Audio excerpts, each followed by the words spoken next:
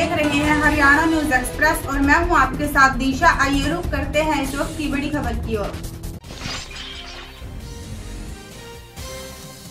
सोनीपत के गाँव थाना कला मार्ग स्थित पीर बाबा पर प्रसाद वितरित करने गई महिला को एक युवक ने गोली मार दी।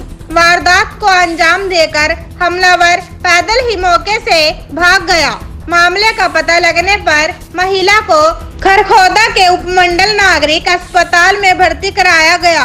वहाँ से प्राथमिक उपचार के बाद महिला को पीजीआई रोहतक रेफर कर दिया गया। पुलिस ने मामले की जाँच शुरू कर दी है।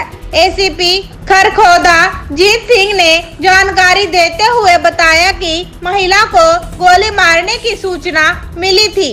घायल को पीजीआई रोहतक रेफर किया गया है। उनके बयान दर्ज उनके अनुसार कार्रवाई की जाएगी।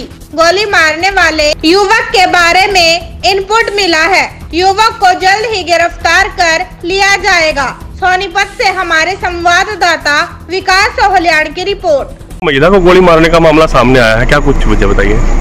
ये यहाँ इंदुबाला नाम की लेडीज़ है। तो उसके गोली की हमें सूचना मिली थी। इसको गोली मारी गई है। तो उसको हम हॉस्पिटल में भिजवाए गए हैं। फ़िलहाल ठीक बता रहे हैं। और एक आदमी का नाम आइडेंटिफाई हुआ है। उसके लिए हम लगे हुए हैं। सर किस तरह कोई बाइक वगैरह पर आया था? एक गोली मारी गई या दो मारी गई? अभी जो यहाँ के जो लोग बता रहे हैं वो कह रहे हैं कि पैदल आया था और भाग गया। दो राउंड फायर के लिए बता रहे हैं। बाकी जाँच चल रही है एफ़ टीम आ रही है। और हमारे एस एच साहब हम लगे हुए हैं। जल्दी गिरफ़्तार कर लेंगे। ठीक है सर।